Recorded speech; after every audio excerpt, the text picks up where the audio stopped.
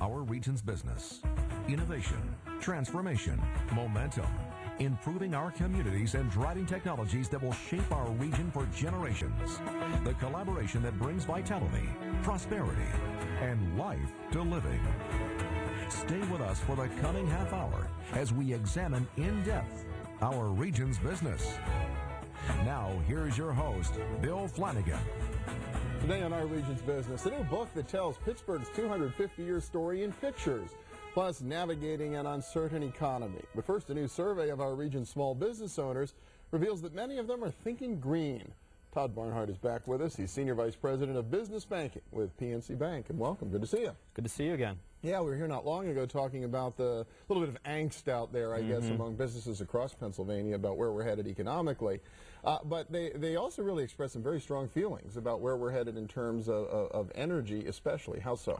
Right. Well, certainly, uh, as you may recall from the economic survey that we do, energy costs are always something that are top of mind uh, for small business owners. So we asked some of them, you know, what are they doing about that? And, and sort of as the whole green movement uh, begins to come more mainstream. And really what we found is that uh, certainly they have some strong opinions on how uh, government and environmental pol policy should work. Uh, but fundamentally, at the root of any environmental movement in the mind of a small business owner comes down to, not surprisingly, saving money. Hmm. How will it work for them and how will it help them improve their cash flow, their business. Time you did the survey, it was what, over the pre-election, right? Over it was pre-election, uh, late summer, uh, basically. So energy costs were still pretty high. Gasoline, $4, $4 a gallon, right? And um, so we saw that, I think, show up in some of the recommendations that they made. In fact, uh, one of the strongest sort of recommendations, we, we asked the question in terms of how would you advise the new administration uh, in terms of solving some of the energy challenges? And uh, perhaps not surprisingly, given that timing, one of the strongest responses was around supporting new drilling. Hmm. Uh, and we really saw it sort of reflect itself in two ways. One is basically increasing the energy supply, and so drilling was one way, and uh, incenting uh, development of alternative energies and nuclear uh, but they also were pretty strong in terms of incenting them to save money. Uh, so okay, so yeah. they want to be incented to save themselves money. Exactly. So what what basically we had uh, looked to, you know, how do they approach uh, green, you know, in terms of investing that in their business, and uh, certainly again, saving money is top of mind for them when it comes to those kinds of investments. Uh, but when it comes to environmental policy, one of the things that they think would make the most sense, again, not surprisingly, uh, would be for the government to incent them to invest in energy-saving appliances, uh, machinery, to uh, basically incent to conserve. So there's a very bottom-line focus uh, to how they see the environmental or green movement playing out from a small business so perspective. whether or not they make a, a, a, green product, I would assume if you make mm -hmm. a mm-hmm. green product, if the government's encouraging sure. that kind of manufacturing or mm -hmm. service provision, they support sure. that.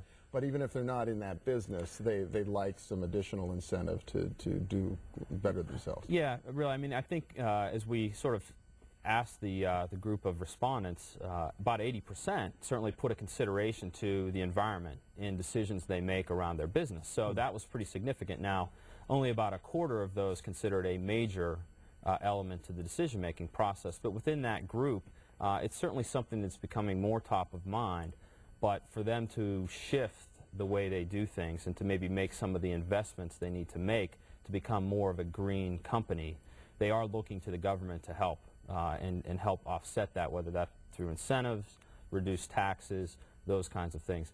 Again, not surprisingly, uh, legislation and regulation did not show up as a very high uh, solution hmm. to environmental policy. But those tax credits or whatever, exactly. they love that. Exactly. It is interesting, though, on some of this issue about being incented to save. I've seen this with the whole green building phenomenon, mm -hmm. and as, as, we're aware, PNC has been a real leader nationally exactly. in terms of building green buildings. A lot of businesses still think you know, it's going to cost you a lot more to build a green mm -hmm. building. You're doing it to be a do-gooder. You're not real, and yet Everybody I've ever talked to who's done it says it flows immediately to the bottom line right. and wind up actually being much more cost effective. It should be a no-brainer. So I wonder if some of this is just not really understanding how cost effective it can be to be green. I think that I think you really hit on it, Bill. That I think there's a educational component to this that will play out over time. So there's a recognition that this is the right thing to do, but it's not necessarily well recognized that it also a, makes good business sense to do in the minds of the small business owner. So uh, those investments, whether they immediately pay for themselves or pay for themselves in relatively short order, certainly can save them significant amount of money. And when you look back to, again, one of always, even pre the, the big run-up in oil and gas prices this summer, energy costs have always been a top of mind concern. Maybe not number one, but certainly two or three, uh, fairly consistently.